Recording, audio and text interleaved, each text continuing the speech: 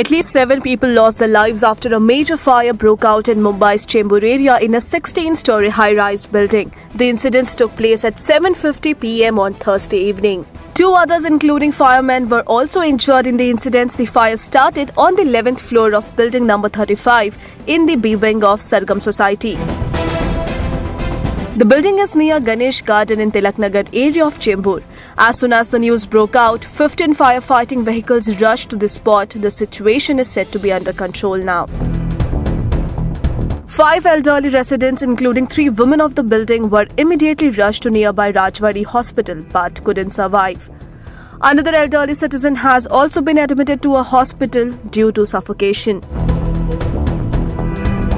Prima facie, short circuit is suspected to be the cause of the fire. However, the main reason for the fire is still unknown and the investigation is underway. An LPG cylinder blast reportedly increased the intensity of the fire. Shockingly, the firefighting equipment of the building was also non-functional. A search and rescue operation by the Mumbai Fire Brigade is currently underway.